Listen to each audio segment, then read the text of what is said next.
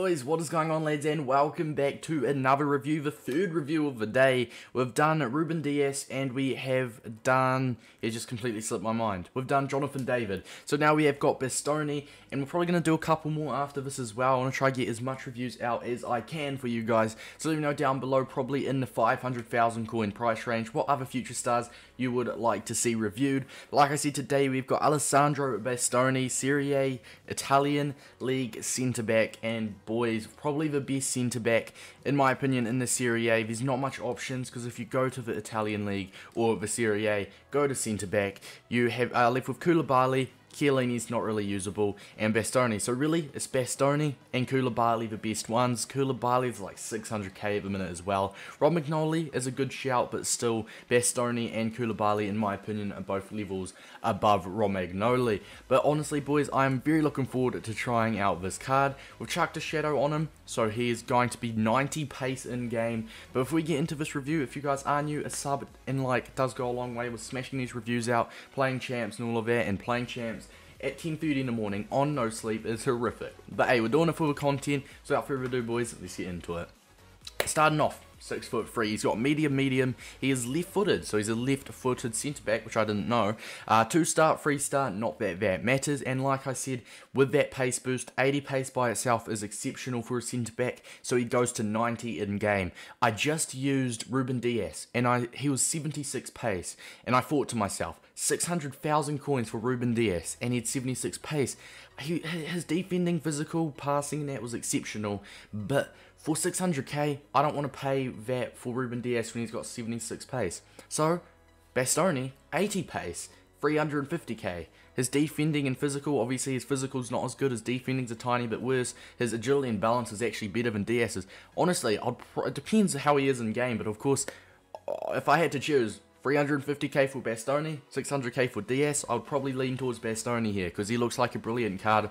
And if he was in the Premier League, obviously Dias does have that Premier League tax, but he's going to be much more expensive. I'm going to stop rambling, but for example, just imagine this card in the Premier League. Just keep that in mind. How much do you reckon he would be? So Bastoni, like I said, 350k, 80 pace going to 90 in game. His short passing and long passing of 80 and 78 will hold up very good, and his dribbling. I like this with a centre back. 72 agility, 76 balance, 88 reactions, 85 composure. He can get out of some very sticky situations very nicely. He's 6 foot 3 as well, so the amount of agility and balance he has, considering he, his height, is absolutely exceptional. With a shadow as well, he goes to 97 interceptions, 90 heading accuracy, 93 awareness, 97 stand tackle, and 99 slide tackle. He's got 82 stamina, 80 strength isn't insane, but he does have that 93 aggression, so going into challenges, it will be absolutely brilliant with him. Player traits, he does not have any player traits, sadly. So we are using him in this lineup, and we are actually, it's a brilliant team, by the way. I'm very happy with this team, but we're actually going to be using him as a left centre back. So if, if you guys don't know, with a 5-3-2, people label it as a toxic formation. So defensive, I don't really go defensive much. We usually start off defense for the first 10 minutes, then we will switch to attacking in game. So what we're going to do is we're going to have Bastoni on the far left, Boateng in the middle, and Desailly on the right. As for instructions, you guys can see the instructions there, but we do have both the fullbacks on join the attack and overlap, so that will be very helpful because Bastoni can probably ping the balls down to Roberto Carlos and try to hit a counter on the wing that way. Without further ado, boys, let's get into the review. Is he worth it? Boys, here we go. The team team we'll be facing 34 ping, not great. So boys, the team we'll be facing, he's got Henderson and Pogba in the midfield and Fernandinho, Fernandinho at the back. A team we really should be beating. If I don't beat this team, there's something wrong with me, lads. Where's Bastoni? There he is. Bastoni, dude, for six foot three. Oh, that agility and balance. Wow, okay.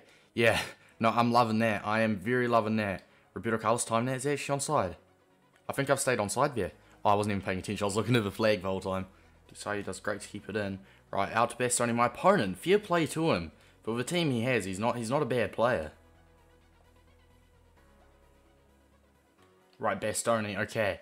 Here, honestly, 38 minutes in, he hasn't had much to do. What are we going to do here against Aubameyang? Bastoni, oh, beautiful tackle. Dude, just surrounding Aubameyang. Keep in mind, Oba is 6 foot 2. Bastoni, 6 foot 3 towering over him. Jockeying was jockeying him for uh, R2, L2. Very, very smooth with him, obviously due to his good agility, due to his good balance. Absolutely huge, man. Honestly. He's going into the half. As I said, Bastoni's only had that one little bit to do with Aubameyang, and the reason I was like, wow, is because pace caught up to Aubameyang easily. Six foot three, he was hovering over Aubameyang. His agility and balance when I was holding both triggers, he was really jockeying smooth, like marking very, very smooth. Um, and obviously that's due to his agility, due to his balance. But so far, he's made that massive tackle against Aubameyang just then, and he's done some passes. We are dominating position-wise. We obviously deserve a goal. So uh, I actually forgot to go attacking, so we're going to go attacking, and we're actually going to put Bastoni in the middle. So left-footed middle centre-back is fine. Let's try him out in the middle, see if we can get some more action. Joshua Kimmich. Oh. Butcher. Desailly now. What is happening? Fake shot and that was beautiful from Bruno. That was a, uh, a fake shot cancel. Well-deserved lead that, lads. All over him. It deserves to be 2 or 3 nil well-deserved lead. We've absolutely destroyed that keeper there, which is some really nice play from Bruno, but well-deserved, boys. Bastoni. Once again, that's a really good pass. I'm loving his passing. I actually see on my heat map, Roberto Carlos. Hey, it's worth a shot, right? It, it didn't pay off, but it's worth a shot.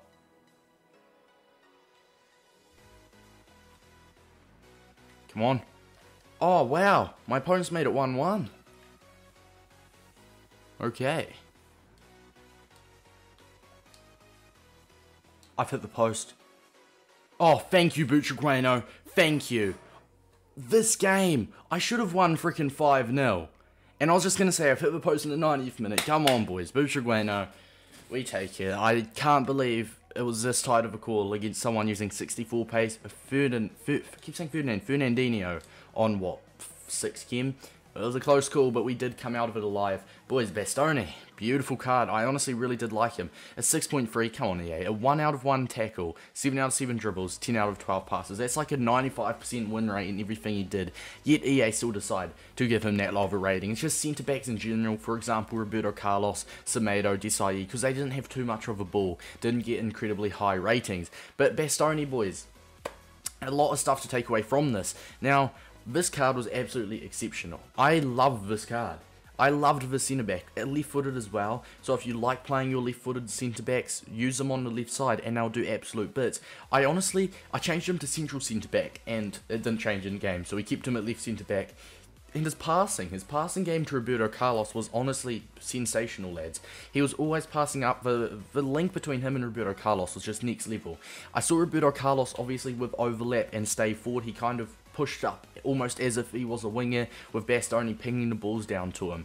And I feel like that's where his passes came from, 10 out of 12 passes, and obviously one or two of them was what you guys saw, that uh, the long balls that obviously did get intercepted. But Bastoni as well, especially going into tackles, he is insane. He's six foot three, and that instance at the beginning with Aubameyang was honestly phenomenal from Bastoni.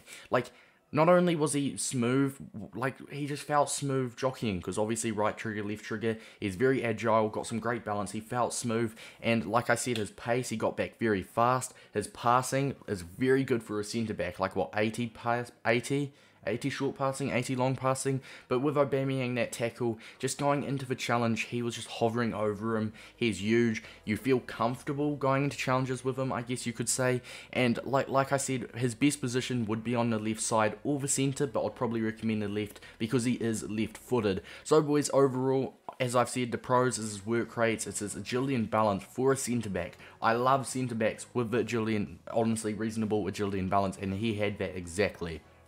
So for me, agility and balance is probably one of the best pros because if uh, compared with Boateng and Desailly, they're tanks. They're like six foot three, six foot four, 60 balance. And then you've got Bastoni, who's also six foot three, but he's 72 agility and like 76 balance. So it's really nice to have that type of centre back paired up with a stronger, taller, or bulkier centre backs as well. So that is what I like with him. His body type was different as well he wasn't really chunky as a centre back, like a Boateng type of chunky. He kind of was quite tall and skinny, to be honest. But the thing is, he's got the strength to back it up. He's got the long legs to stretch out. His blocks, his AI blocks as well, I did notice were phenomenal. So, boys, overall, considering he's 350k, I liked him more than 600,000 coin Ruben Dias, so that tells you something. For me, the rating out of 10 is going to be a 9.5, and that's a really high rating for me, especially considering the Serie A defenders, right? The Serie A centre backs, you're very limited. It's him or Koulibaly. He's got three more pace, Koulibaly's way better defending and physical,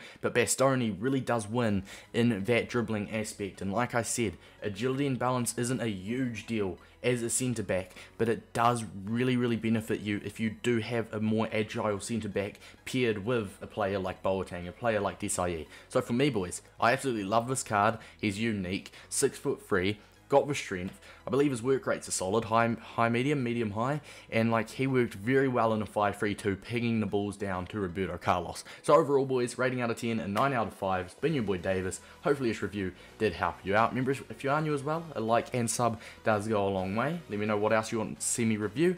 Until next time, boys, I'll see you later. Peace out, guys.